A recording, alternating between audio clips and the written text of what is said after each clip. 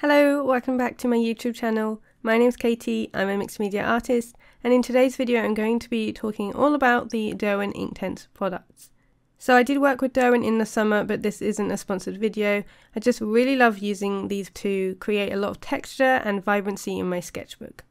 I know sometimes, and I know it was the same for me, it can be a little bit daunting for getting new art supplies, and I wasn't really sure when I got these on how I could apply them with my style. So I started experimenting and I feel like I've really found a good way of using them and really embracing play in my sketchbook. So I'm going to be sharing a few different ways that you can use them. So first up is to apply them dry straight to your page. And I'm using a Royal Talens Art Creation sketchbook today and I find that it's really nice smooth paper so it works really well for the Derwent Inktense products you do have to be a little bit careful with this paper because it's only 140 GSM, so it doesn't take a huge amount of wet media, but I find it handles the way that I apply the Derwent ink Inktense absolutely fine, and it means I can layer things on top and there's no issues there.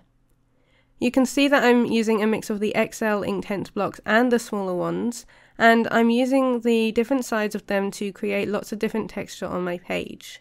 You can use the side of the block, so the longer edge, so you're getting more coverage on the page, or you can use the edges of the end, which gives you really precise lines. I find that this is just a nice way to block out the colors. So I'm creating this spread based on some images I took when I was in Vienna and I visited the Palm House. And there was just so much color and life in those pictures that I really wanted to try and get that down on my sketchbook page. So by starting like this, it does help me stay really loose. I haven't sketched first and I can just put down the block colours that I see on the photo into my sketchbook. And I'm not trying to replicate the reference precisely, I'm trying to just focus on the energy and the colours and put down the basic block shapes first. So I also have the set of 100 Derwent Inktense pencils and I'm just pulling out a few different colours, mostly greens because I really want to layer up all the different shades to try and show all the different plants that were in the palm house. There were a lot of different colours so it does help, but you can also intermix the colours together to create new shades so don't worry if you don't have all the colours, it's really not necessary. So you can see I do apply quite a lot of pressure, but on some areas where I want it a little bit more subtle, that's where I've pressed a little less hard. I'm also using the pencils in different ways in terms of holding them, so sometimes I'll hold them along the edge of the barrel, which gives me a little bit less control, which is really helpful for when I am trying to be loose. You can see I'm kind of using it at a really low angle here, which really helps to put more coverage on the page, or of course you can use them like a normal pencil and really get the details there. But at this point, it does look like quite a bit of a mess on the page, so I definitely recommend trusting the process because you'll see in a minute how it really comes to life. So our next step is to add water, and I'm just using a size 12 round paintbrush here, but you can also use a water brush pen or smaller brushes. I just find that the size 10 and size 12 brushes really allow me to stay loose and not be super defined with the details. But it does also give me enough precision because it does taper to that fine point if I need to go around things and try and be a little bit more careful. So this is where the Derwent Inktense really does come into its own. When you put the colours down, it might not be as vibrant as you expect, but when you add the water, the pigments really, really shine, and I find that it's just a really fun way to create.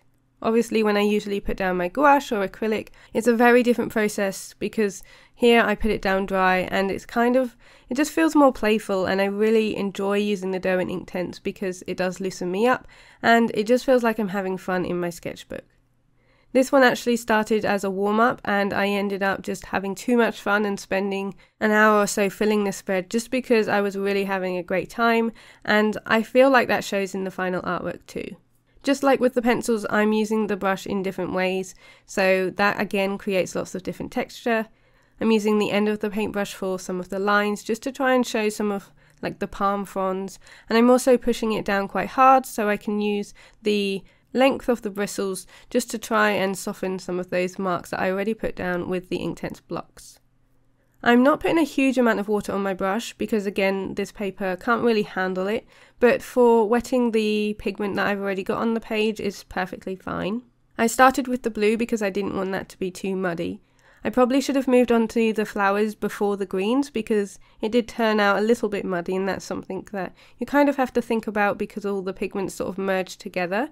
So my water was a little bit dirty and I think you can tell on these bits down the bottom, but it wasn't really an issue for me because like I said I am trying to keep things loosened. I'm not trying to get it super perfect or as it was in the picture. So I'm just going around the page and adding the water to the areas I've got the pigment. You don't need to cover the page fully because the pigment is so strong and very vibrant that you can fill a huge amount of white space with just a little bit of the colour that you've put down. Especially where I've gone really heavy with the marks, it only needs a little bit of water on the paintbrush to really push that out and fill more space. So now I'm using the pencil and I'm putting it on top of the wet page and it really softens the lead. It creates a really nice soft line and it's one of my favourite ways to use the Inktense. The water doesn't sink in immediately on this paper because it's not cotton, so because it sits on the top, it does mean that you have a little bit more playtime with the wetness on the page, and it really does soften the lead nicely. Another effect that I really enjoy using with the Derwent Inktense pencils is to dip the lead itself and the top of the pencil straight into the water. It's not officially recommended because it is a wooden pencil and so it does weaken the barrel of the pencil that holds the lead. But for me, I find that it's just a really fun way to use them. And so I'm not too worried because this is just how I find my creativity and I really enjoy using it in that way. So for me, it's worth it just to try and get some of that different texture. And I much prefer using the pencils like this than I do dry. You can see here the really rough line. I find that that's not something I can get with any other pencils any other watercolor pencils I've tried, and again, I really like the intensity of the pigment. Texture is something I'm always trying to get in my work, and I feel like this really ticks the bill.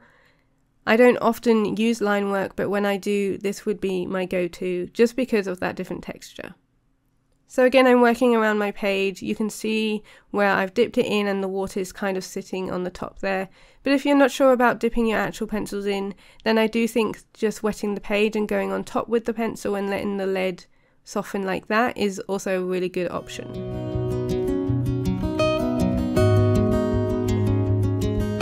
Another way you can use these pencils is to put down your marks and then come in with your finger and wet the page so it really smudges the colour. You can either wet your finger first by dipping that into the water, which is what I've done here, which means you're wetting the pigment and can fill more of the surface area, or you can smudge it down on top of the wet paper with a dry finger and then you've got a little bit more control. One of the techniques that I discovered was that if you use the wet finger method, is that you can then go on top with your pencil and kind of scratch it away.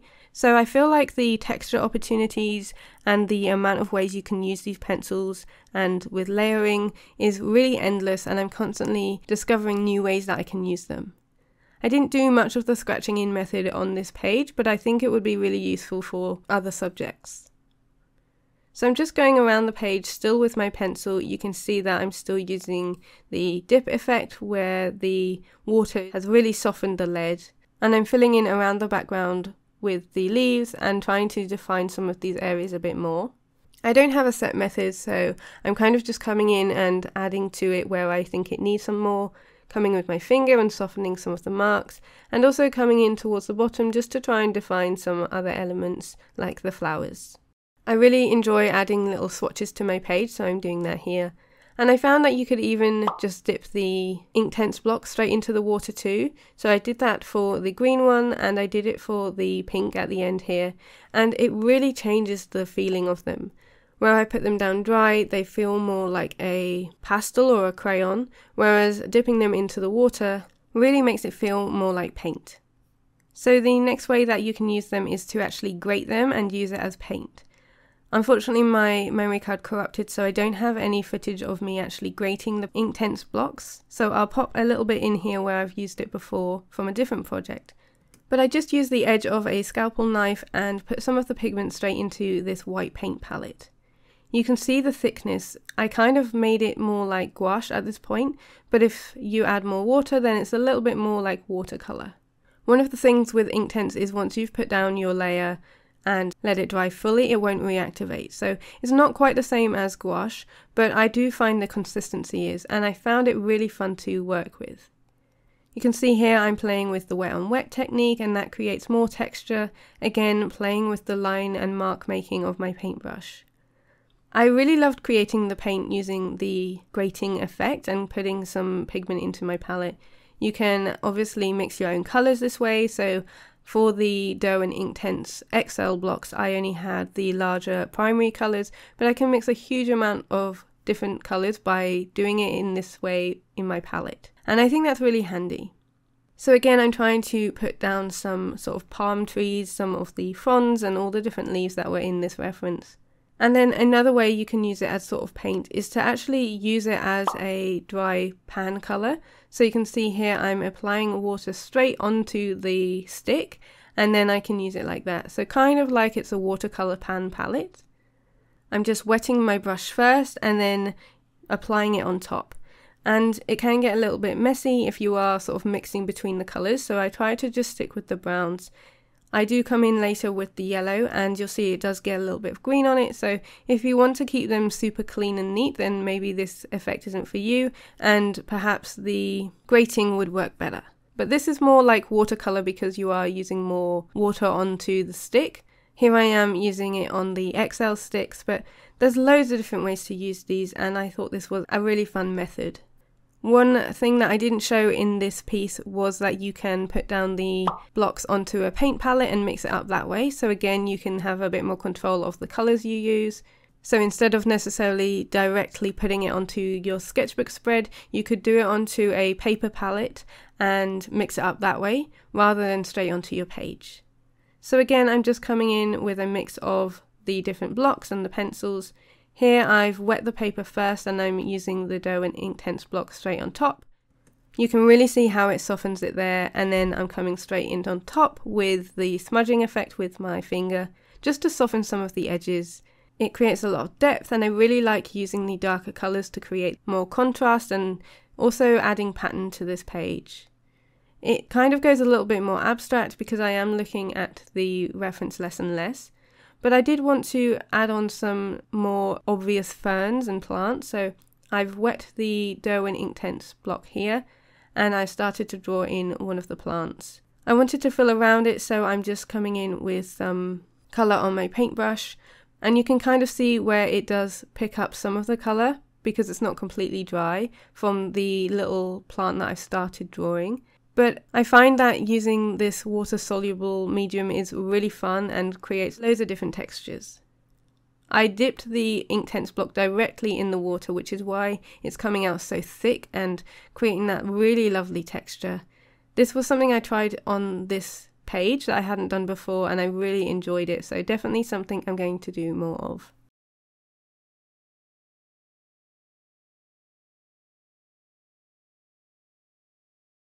Here I'm smudging again and I actually wet my finger and put it straight onto the Inktense block and then onto the page to create that blue and I thought that was a really nice gradient over there. Sometimes I'll put water down on the page and then come in with an Inktense block or I'll dip the Inktense block in water. I feel like there's loads of different opportunities and although I've only spoken about a few of them today, I really encourage you having a play and just seeing what happens. Like I said, I planned for this to be a warm up and then I was just having so much fun playing. And for me, that's what sketchbook work is all about. Art should just be about enjoyment and play and having fun, and not necessarily about creating beautiful work at the end of it, but just having a good time and being mindful and creating something that made us happy. I've used mostly Derwent Inktense blocks so far, and now I'm coming in with my pencils, again to add more layers and add on texture. I really love the effect of these when I've dipped them in water so you can see that I smudged it a little bit and I'm just trying to be really loose with my lines. I feel like this looks like gouache here because it's so thick so you can really create watery effects or you can create thicker ones depending on how much pigment you use from the blocks. So for this paint I've created I've just grated in more pigment to my palette and less water to mix it up so it's slightly thicker. The way I like to finish my pieces is with some final touches of vibrant colour and for this one it was more pink so I enjoyed dipping that into the water and adding it on top. You can see that it does layer really well and obviously it does depend on what color you're using so perhaps a yellow wouldn't layer as well but I really like finishing off my pieces with just that little pop of color. And here's the final spread. So I really hope you enjoyed this one as much as I did enjoy creating it. I hope you've enjoyed seeing how I use Derwent Inktense blocks and pencils in my work, and if you do have any Inktense materials yourself, then hopefully this has inspired you to just go and have a play and see what happens. A huge thank you for watching and a big thank you to my patrons for all of their support. I hope you have a creative week, and I will see you next Sunday with my new YouTube video. See you later!